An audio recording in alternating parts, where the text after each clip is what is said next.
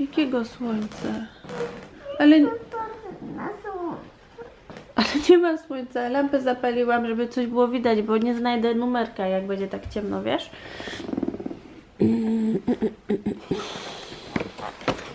Co, co dziś jest? 11. Mm, nic tu nie widzę. 12 widzę. O jest, ojej, 11 jest taki mały. Laura. Dzień dobry. Myślałam, że ty chciałaś otwierać. To może za chwilę, co?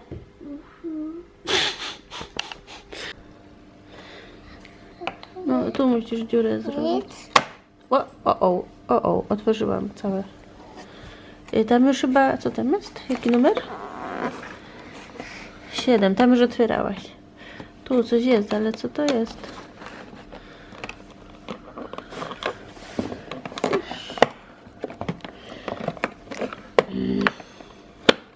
Spinka jakaś.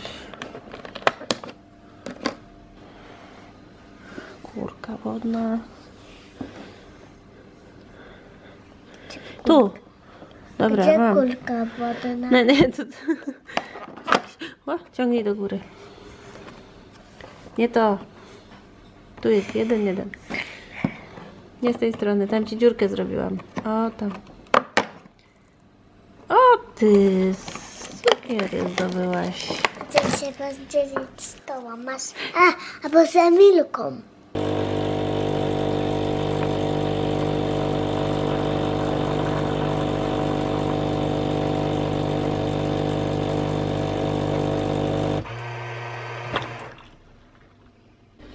Co my tu mamy dziś do kawy?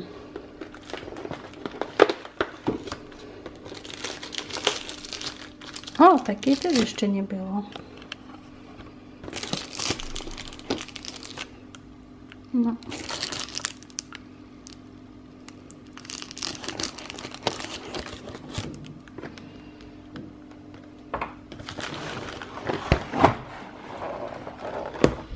Mm, to jest to. Okej, marcepan w czekoladzie.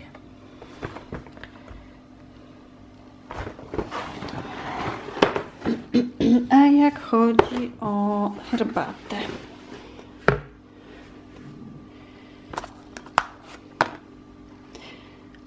Czarna herbata, to fajnie. O, bez imbiru i bez czosnku. To bardzo się zapowiada dobrze. Cześć, yy, trzymam nożyczki, jeszcze się z Wami nie witałam. Yy, chciałam się z Wami wcześniej przywitać, ale mi bateria padła. Yy, więc tak, jestem z nożyczkami, bo chcę Wam pokazać yy, kwiatki i możliwe, że coś tu poprzecinam. Yy, I aha, popatrzcie na moje brwi, ja właśnie patrzę w podglądzie. Yy, z, z, z, pokażę Wam e, po obcięciu kwiatków, jak przygotowałam sobie własną, nie wiem, od, odżywkę do brwi, no powiedzmy odżywkę. Coś do brwi, co, co wyczesuje brwi. Dzisiaj użyłam pierwszy raz. E, Dawałam znać, czy będę tego używać dłużej. Ale nie, spoko, tak w podglądzie to jest po prostu moje brwi. E, Nic tam nie podmalowywałam e, niczym dodatkowym. Użyłam tylko te, tej mojej, e, mojej, mojej, jakżeż to się nazywa? Nie wiem, będę to nazywać szczotką do brwi albo maskarą do brwi własnej produkcji. ok, przejdźmy do kwiatków. Więc tak. Mm, Tutaj w sypialni przyniosłam sobie bluszcz i to, o, i to coś, zapomniałam jak to się nazywa. Obie te roślinki mi tu rosną, bo one tu już stoją kilka tygodni, z tym, że bluszcz mają sucho, widzicie, mają sucho, więc muszę je podleć. Bluszcz mi żółknie, pewnie dlatego, że ma sucho. I ten się zrobił bledszy. Mm, Bluszcz widać, że zaczął tu rosnąć, więc jemu te warunki świetlne pasują. To podobno nie lubi bardzo dużo światła, ale mm, jest ewidentnie bledsze odkąd tu stoi.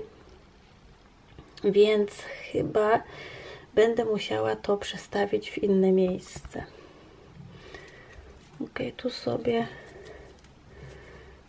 e, będę odrywać listki chyba. Tak, i będę musiała tu jeszcze przyjść i podleć. A Tutaj w, w sypialni mamy właśnie mało światła, ale bluszcze się bardzo dobrze właśnie w takim yy, pół, półświetle. Półmrok to to nie jest, ale w takim niezbyt mocnym świetle one się super odnajdują. I ten bluszcz miałam na oknie i on mi tak no był, był, był i tak trochę się dziadził. Nie chciał rosnąć, a teraz odkąd go przestawiłam, to widzę, że mu tu te gałęzie się wydłużyły. I, I tu coś nowego rośnie. Dobra, a ten chyba będę go musiała właśnie przestawić w jakieś jednak troszkę jaśniejsze miejsce. Następne kwiatki, jakie mam też w sypialni i to są właśnie te wężownice Sansevierie. One się bardzo dobrze czują w takim właśnie niezbyt mocnym świetle, oczyszczają powietrze. Świetne są. I też zielistka. Zielistkę przyniosłam od mamy, właściwie to urwałam te trzy takie młode. Już troszkę podrosła. Też widzę, że muszę te kwiaty tu podlać. W każdym razie zielistki też lubią y, niezbyt jasne światło, więc jak szukacie czegoś i też oczyszczają powietrze, więc jak szukacie czegoś do niezbyt jasnego pomieszczenia, y, to te kwiatuszki się fajnie sprawdzą. Y, W kuchni mam takie, to ja na to Wam zawsze mówiłam zielistka, ale to jest nie zielistka, to jakoś inaczej się nazywa. W ogóle ta roślinka ostatnio mi zaczęła rosnąć. Ona taka była bez życia długo, długo i nagle ma tyle gałązek. Wygląda dobrze. Tutaj mam fiołek alpejski, bodajże to się nazywa. On nie ma kwiatków. On jest taki. Podoba mi się, że ma zielone, li... podoba mi się, że ma zielone liście, ale on jest taki trochę w drodze już do śmietnika, ale z drugiej strony ma ładne te listki, więc tak jeszcze go tu trzymam. Tutaj mam skrzydło kwiat. Przed chwilą odcięłam e, kwiat, bo miał jeden piękny kwiat, ale już ten kwiat e, zaczął e, więdnąć, więc go odcięłam. I powiem Wam, że skrzydło kwiat lubi nawóz z piwa. Musicie mieć piwo odgazowane i no powiedzmy em, musicie je rozcieńczyć z wodą. Nie, pamięta, nie pamiętam dokładnie proporcji, ale powiedzmy, że ja tam wlewałam chyba jedną czwartą szklanki na dwie, dwie szklanki wody, coś takiego, ale yy, wiecie co, to nie jest taka dokładna proporcja. Tak czy siak podlałam go w ten sposób i nie zwiędł i jeszcze zakwitł, więc, e, więc e, po, polecam, was, wam piwny, polecam Wam piwny nawóz. Kroton, widzę, że tutaj ma coś nowego. O, jest teraz coś tam mu rośnie. To nie pamiętam jak to się nazywa ale też ładnie rośnie. Cały czas widzę, że przybywają kwiatuszki, chociaż widzę, że te tu nie są wybarwione. Tak jakby miały za mało światła. Ciekawe. Mm, Nie wiem dlaczego nie są wybarwione, ale zobaczymy jak będą większe. Może, może to się jeszcze zmieni. Tutaj rośnie mi aloes jak szalony. Drzewko szczęścia i to co Wam chciałam powiedzieć to fikusy. E, Bo często słyszę, że fikusy to są trudne rośliny. Powiem Wam, że Fikusy to są, a w tle widać na balkonie zdechłe- zdechłego kwiatka. E, Fikusy to dla mnie są najsilniejsze kwiatki, jakie miałam. Tutaj jest następny fikus. I tutaj jest w ogóle mm, drzewko bonsai. I to jest moja pierwsza przygoda z drutowaniem. Zdrutowałam gałązkę, żeby ją trochę zgiąć w dół. Czekajcie, może go wyciągnę.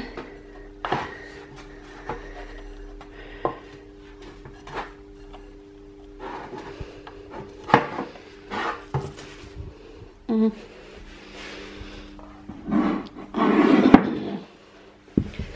O, tutaj coś, listek jakiś podupadł na zdrowiu.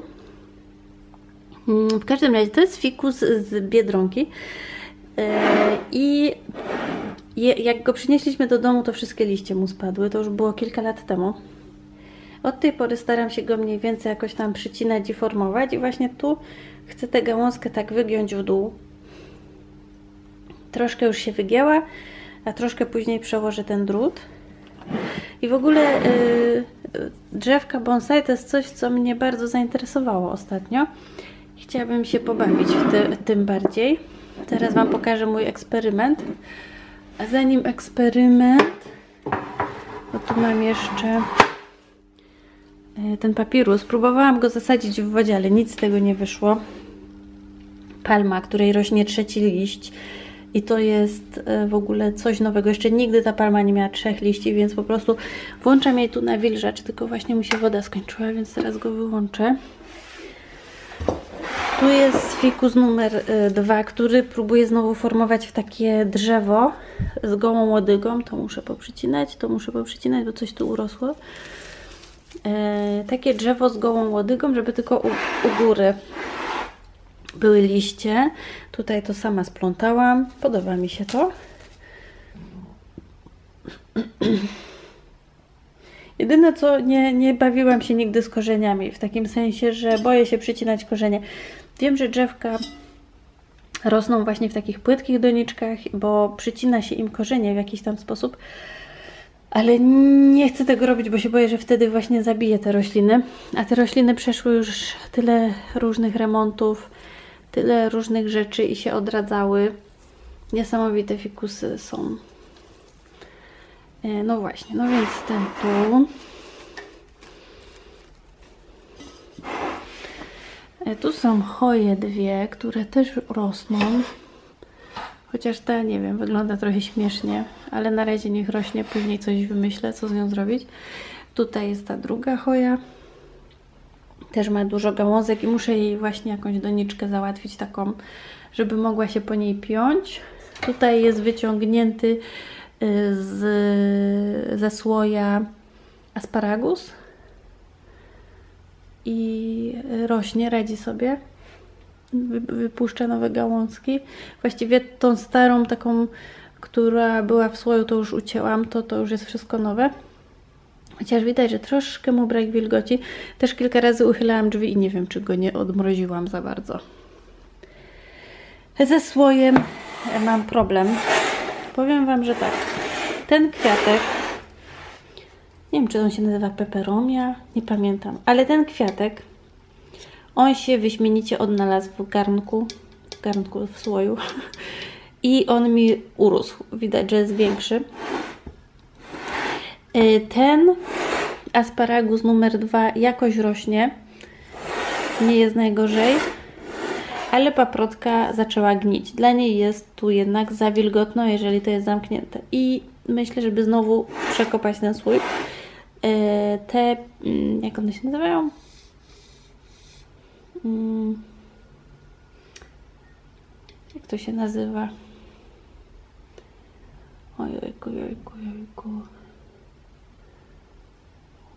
Te, które powinny kwitnąć, a mi nigdy nie kwitną.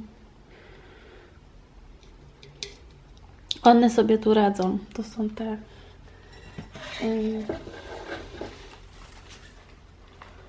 Tutaj, tutaj mam następne, rosną, chociaż chyba też muszę je podleć. Już czuję, że są takie miękkie trochę. To chyba znak, że mają za sucho. A tu znowu coś... Nie wiem, na tych kwiatkach mi nie zależy. Mam ochotę je wywalić. Jakoś... Rozmawiałam w kwiaciarni z panią i ona mówiła, że dać im szansę, że kiedyś zakwitną, ale nie wiem. Jakoś w to nie wierzę. Storczyk, o to się nazywa storczyk. No więc nie wiem, mam, nie mam wiary w storczyki. Ani nie umiem robić ze storczykami nic, żeby to rosło. No właśnie, więc ten słój chyba wykurzę. Z drugiej strony hmm, pasowałoby mi, no bo ten za chwilę znowu zarośnie cały garnek.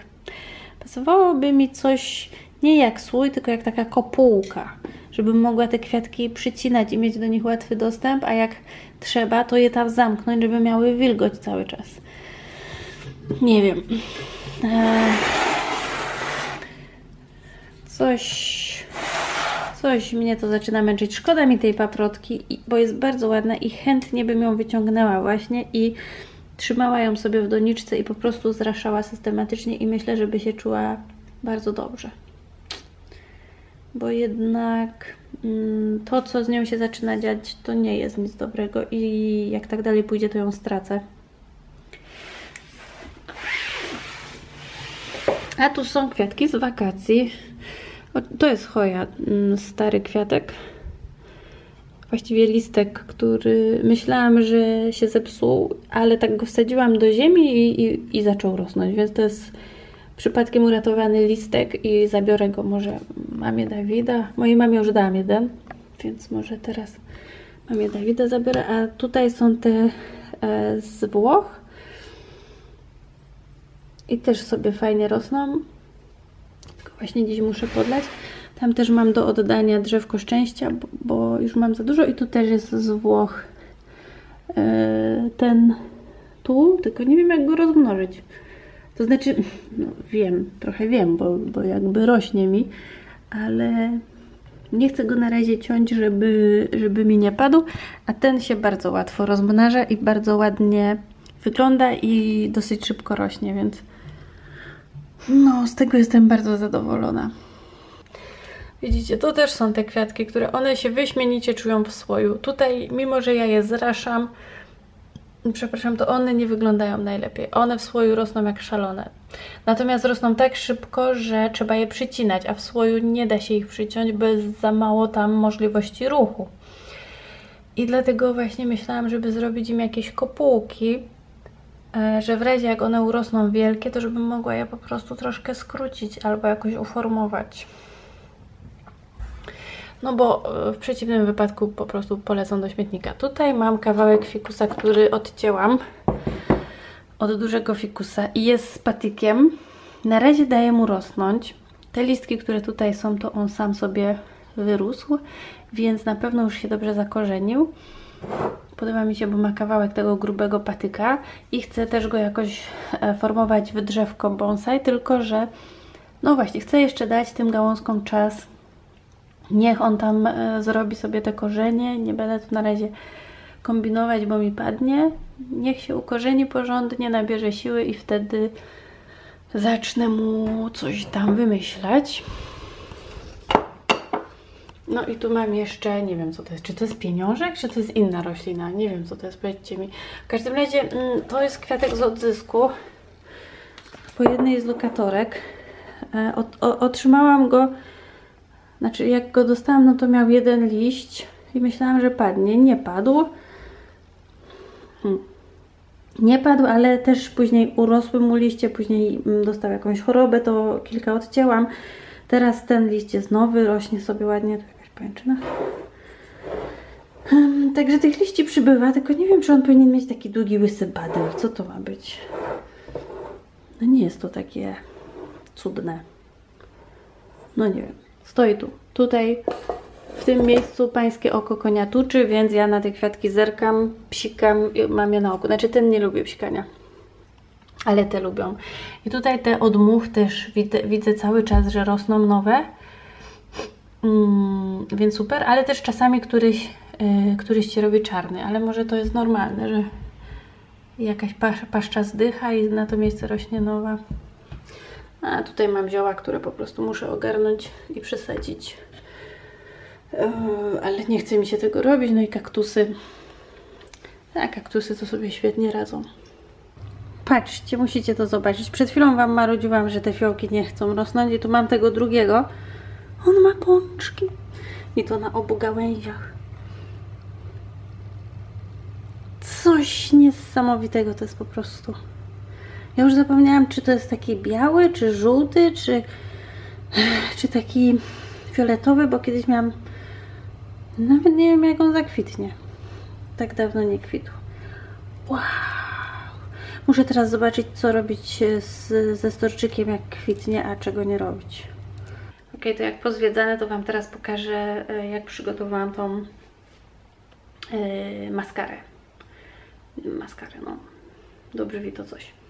Ok, więc tak, e, co ja potrzebuję? Więc tak, kieliszek mam, e, polski produkt, lokowanie, tak mi się niechcący zrobiło, ale jakiś taki spory kieliszek. Opakowanie po, wymyte opakowanie po zużytej maskarze. Dalej, ja mam olej arganowy, bo olej arganowy jest dobry do włosków. Em, wiem, że dziewczyny używają też witaminy C, oleju rycynowego, mm, oleju kokosowego, jakiegoś tam oleju, który lubią. I ja mam, mam kopytko, którym będę drapać cień. I mam tutaj e, dwie palety. Z tej chcę wziąć trochę czarnego, żeby to troszkę jednak przyciemnić. E, I tu mam jeszcze jakąś taką paletę, e, z której chcę wziąć by, ten, trochę tego cienia. I nie wiem, czy, co mi wyjdzie, czy to będzie dobry kolor dla mnie, czy nie. Jest to eksperyment, chociaż widziałam właśnie, że dziewczyny na YouTubie to robią i coś im z tego wychodzi. Więc tutaj sobie podrapię ten cień. Wow, o jaki on jest miękki. Ok. Wiecie co, też nie chcę za dużo koloru.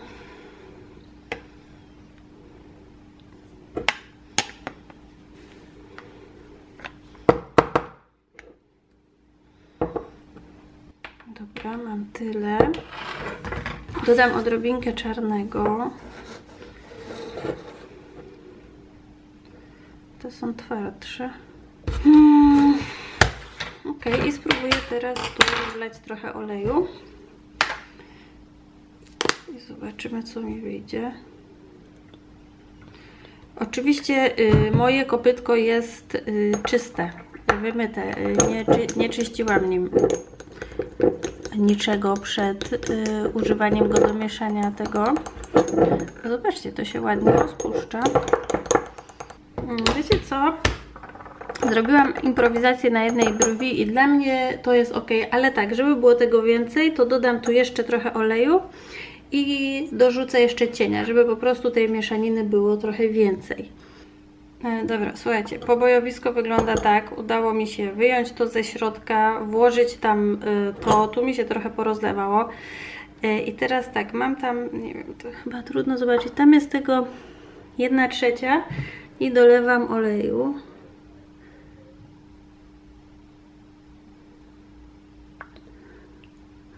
Dobra, to wystarczy.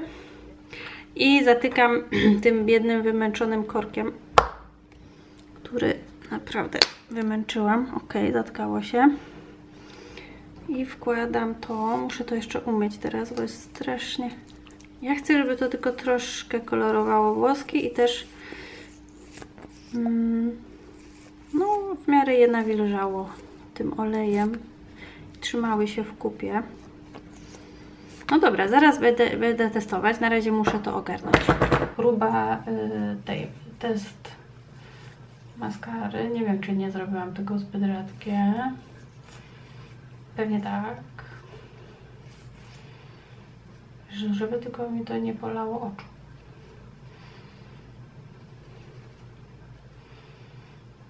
No dobra.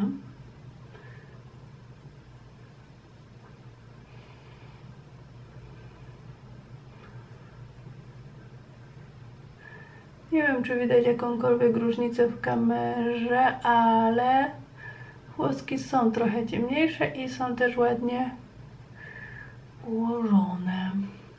Powiem Wam, że ja nie jestem zwolennikiem. No, nie wiem, widać coś, jedna brew i druga jakąś różnicę?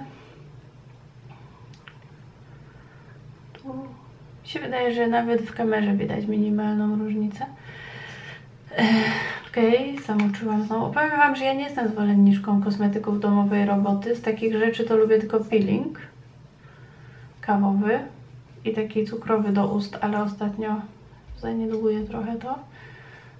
E, no, kawowy to tak.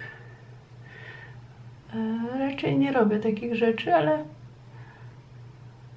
zainspirowało mnie czyste pudełko po maskarze do tego, żeby spróbować właśnie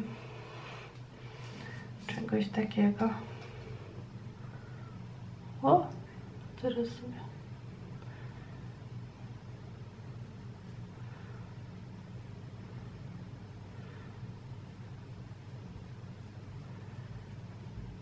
Nie malowałam wcześniej nic brwi, więc...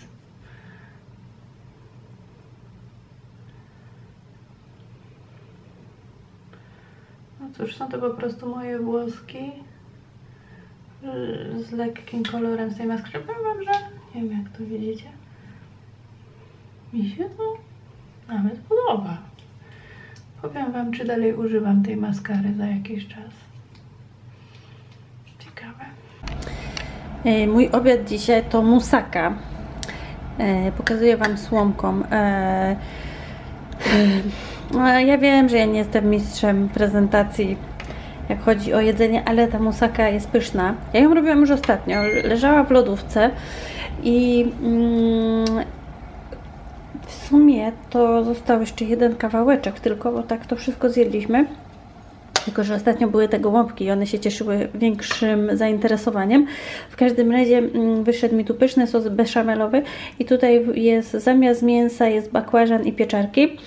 E, A tu mam wodę, bo wiecie co, muszę mm, zacząć liczyć ile piję, bo mi się wydawało, że dużo piję, ale e, chyba nie piję aż tak dużo. W sensie cały czas się czuję jakimś takim sucharem i widzę, że mi się strasznie buzia przesusza.